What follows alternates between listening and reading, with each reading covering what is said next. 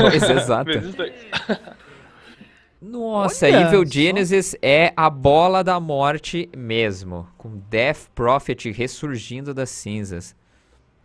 Ela foi bem nefada, né, galera? Ela meio que deixou ela meio de lado, mas eles querem puxar essa torre sem dó nem piedade mesmo, né? Teve um pequeno buff, né? No. Eu acho que ganhou um espírito por nível ah, recentemente, mas não afetou tanto assim a Death Prophet. E aproveitar. antes- Oi, desculpa, antes pode falar. desse que saiu agora, ou antes desse ele não tinha sido nefada? Sem ser esse agora o mais recente. O anterior, não tinha sido nefado ou não? Ah, boa pergunta. Então, O herói não aparece faz tanto tempo que eu não lembro de todo o changelog do 6.83. Ah, é aquele negócio dos espíritos, aumentou o cooldown, eu acho, um negócio assim. não Isso, é, exato. Uhum.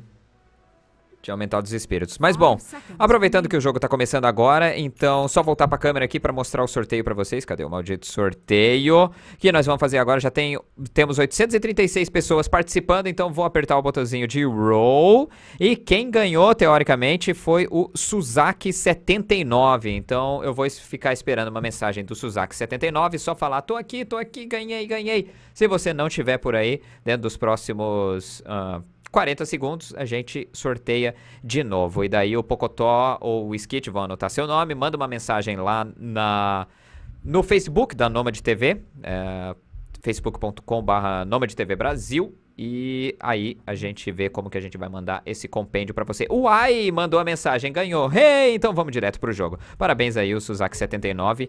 E agora, partida número 4 começando. E vamos rapidamente apresentar a equipe da Team Secret. Kuroki jogando com o Bounty Hunter, com o set do YYF, feito pelo... É o set do YYF, né? Não.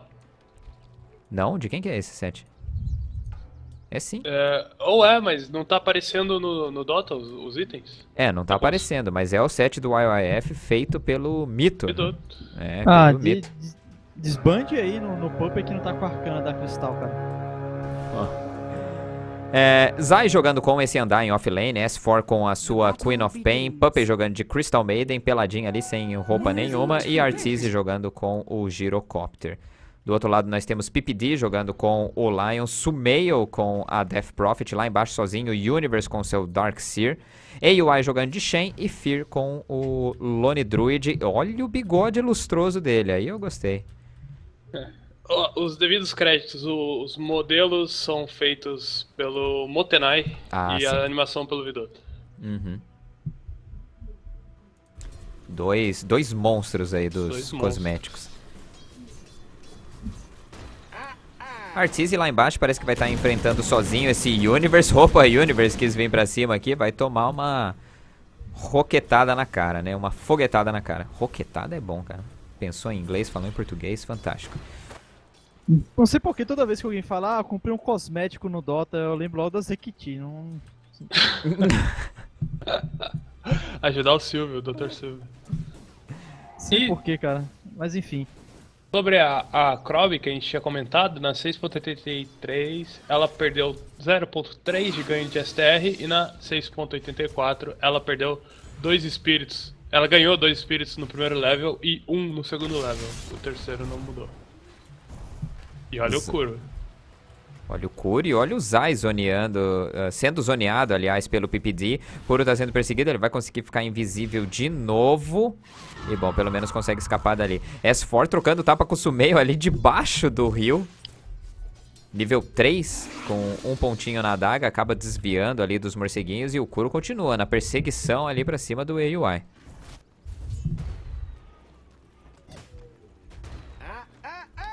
Puppet que já coloca um pontinho bem cedo na sua aura arcana. Aumentar a regeneração do, do Kuroki, né? Que fica spamando ali o andar...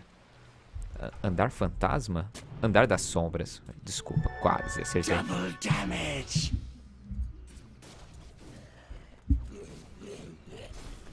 O bom é o Puppet tá usando também o congelar dele, o congelamento, pra matar os creeps que estão com o carapace único e impossibilitar que eles cheguem perto dos creeps ali do time da Secret, né?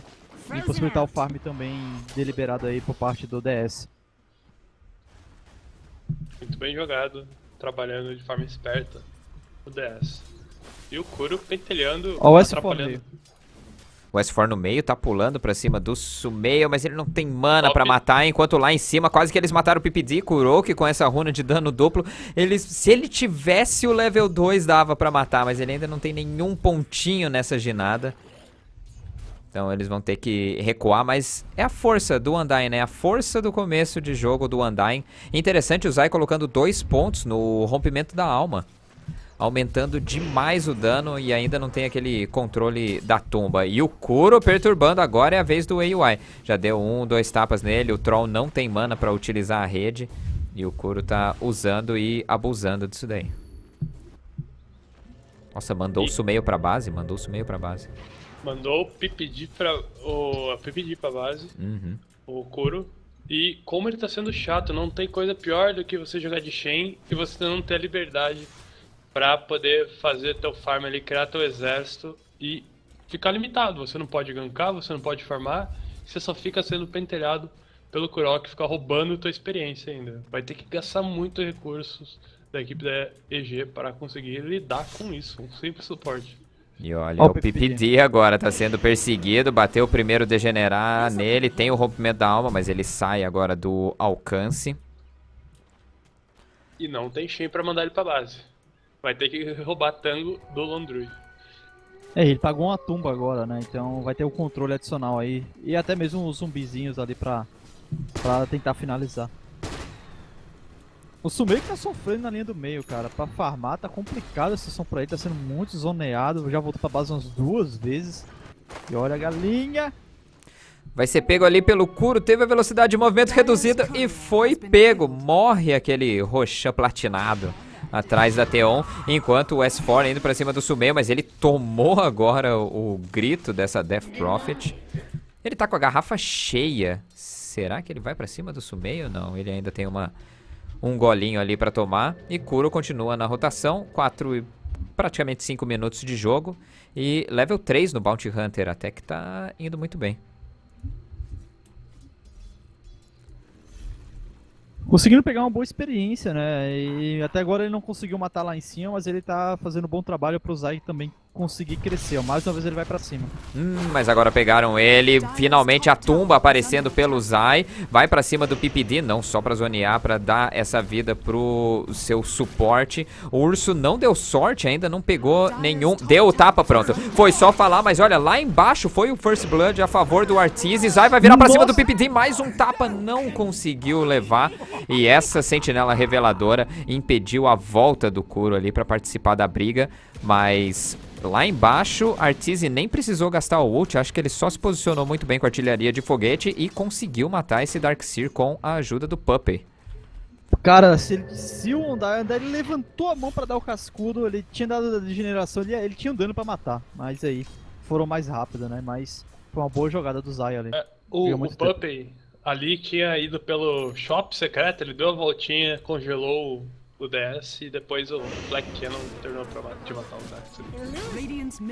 Fear level 6 agora com o seu Lone Druid, dando bastante dano no Zai. Kuro tá pensando em ir pra cima, colocaram a lápide. Fear tentando trocar de forma ali pra ficar mais fortão e ele vira pra cima do Zai. Olha o buff que teve ali no grito de batalha, mas o Zai dando muito dano no Fear, o rompimento da alma quase arrebentando ele. Kuro tem ali, não vai precisar nem do Shuriken, a degeneração conseguiu matar, enquanto o Artise persegue o PPD e leva esse suporte e coloca o AUI para sair correndo fora da floresta. Kuro level 4 e AUI level 3. Então podemos dizer que é um Bounty Hunter que tá dando muito certo para a equipe da Secret.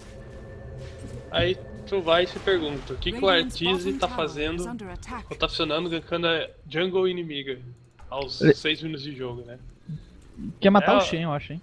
é, é outro nível de agressão. Eles são com Olha o meio. E olha o meio. O Puppey vai tancar um pouco. Será que ele vai conseguir congelar ali? Nem precisou. O S4 pulou pra cima dele. E olha o Artise. Quatro pontos ali na artilharia de foguete. Mais que suficiente pra matar. Tá e congelou o Universe. Ele já tinha gastado o, o surto. PPD acaba morrendo. Ele utiliza agora essa parede. Artise vai debaixo da T2 mesmo. Tentou pegar o Universe. Mas aí foi demais pra ele. Um ult ali defensivo. Só pra ter certeza que ele não ia morrer. Enquanto lá em cima eles conseguem matar o Zai. Mas o Kuro aparece ali no cantinho e consegue matar o AUI. Kuro tá na metade do level 5 agora.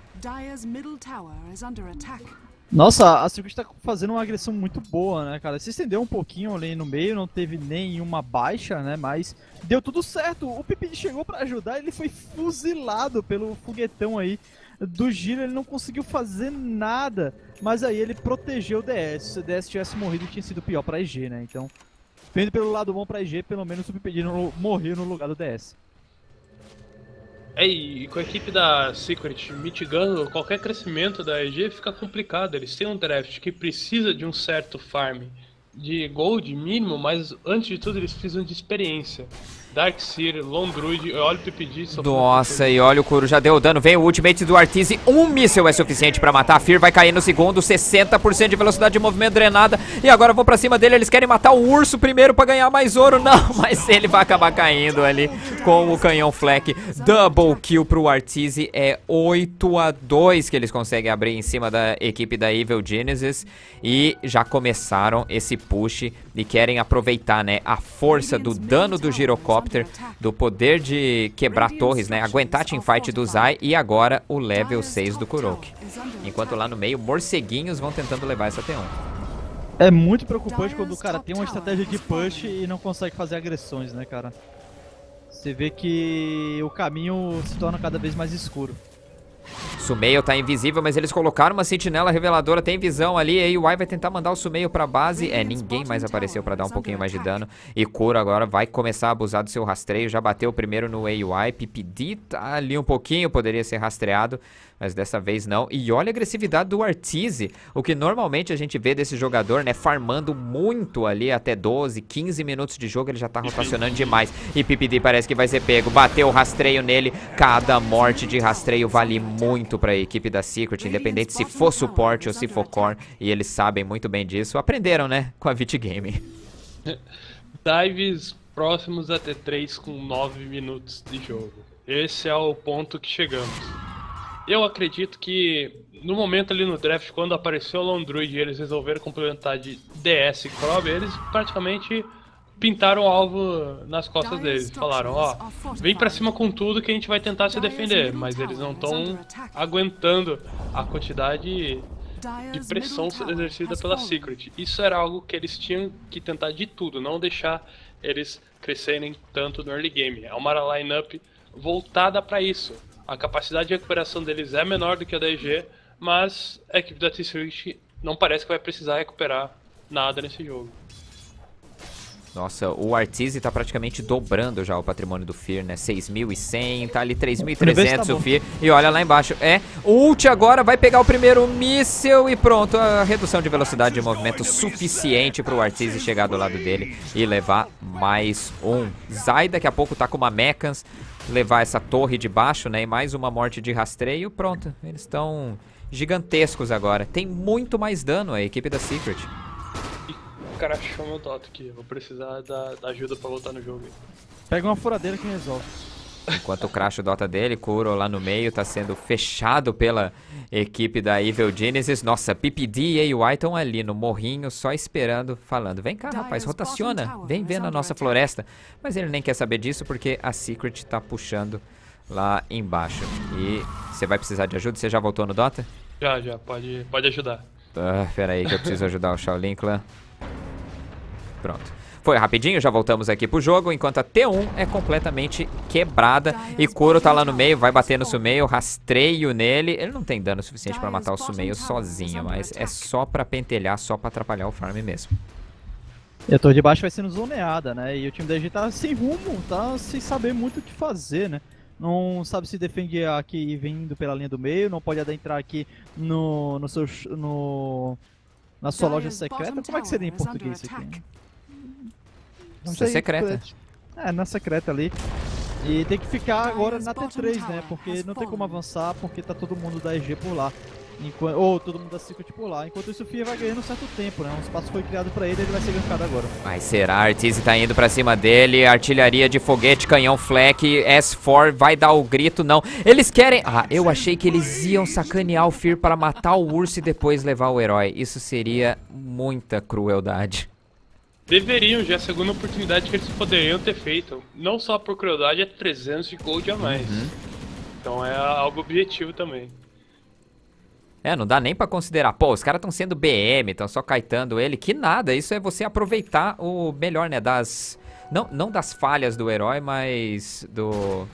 É, realmente é uma falha, né? Que o Lone Druid tem um, um poder que você pode exploitar. desvantagem. É, desvantagem, isso, exato. Nossa, a palavra fugiu da cabeça. Kuruk agora tá Perfeito. mais crítico, né? E, e vai melhorar aí o dano mágico da, da Secret. É, eu tava pensando aqui logo quando crashou. É, o- a movimentação do girocóptero, ele tem 315 de movimentação básica, é um pouco demais. Antigamente isso era equilibrado com o, o Rocket Barrage ter aquele cast point. Agora que foi removido, tá muito forte essa move speed. E olha o PPD ali, já tomou um rastreio na cabeça. S4 não vai perdoar. Grita agora, onda sônica. Artist já tem o, o Ult Universe aparece por ali. Belo vácuo, mas cadê a parede? Demorou um pouquinho pra aparecer a parede. E agora, olha o ganho fleck. O ultimate do Puppet vai conseguir comer esse urso. Fear vai acabar morrendo. A mão de Deus não segurou nada. É um team wipe com o buyback do Fear que dá o buyback, chama o urso. Ele chamou o Acabou. urso ou ele perdeu o urso? Acabou-se. Acabou-se. G, GG. G, chamado pela equipe da Evil Genesis, foi muita pressão da equipe da Secret. Uma briga debaixo da T2 deles e não tinha mais como segurar isso daí. Apenas três mortes ali no Zai com o Undyne. O resto, de novo, zerou a partida 9-0-3. Nossa, que. Essas rotações do Arteezy, né? Como eu falei, é um pouquinho fora de padrão da, da característica desse jogador, mas eles souberam explorar muito bem esse Bounty Hunter, nerfou demais o Wei também a escolha do Lone Druid, é um herói que precisa um pouquinho mais de nível, não deu certo, e também a Death Prophet, acho que depois dessa partida vai voltar pra gaveta, né, dos heróis que não aparecem muito no competitivo. É, Ela acho- apareceu assim, é, empurraram de volta, assim, né? Tá lá. Eu acredito que foi decidido ali no a hora que ele voltou do draft de Londruid e Darkseer. Ele chamou o jogo pra cima, não tinha como lidar com aquela pessoa inicial e a Secret fez o trabalho deles ali. Ah, cara, quando você pega uma estratégia como a da IG pra poder botar pressão e levar a torre, você não consegue fazer isso, não consegue nem se mover pelo mapa com uma build de, é, de push, é porque o jogo realmente não tem mais salvação, né? Aí depois de uma pressão perto da T3 ali com o Team Wipe, aí é pedir o GG mesmo, não tem o que fazer. Então, olha, Team Secret é a nova campeã da The Summit 3. Eles ficam em primeiro lugar. A equipe da Evil Genesis garante pelo menos o segundo e a Vit Gaming na terceira colocação. E vou voltar de novo a esse assunto. Às vezes tem gente que fica pensando, né? Pô, mas tava todo mundo elogiando a Team... Ah, desculpa, tava todo mundo elogiando a Vit Gaming. Chupa aí, Team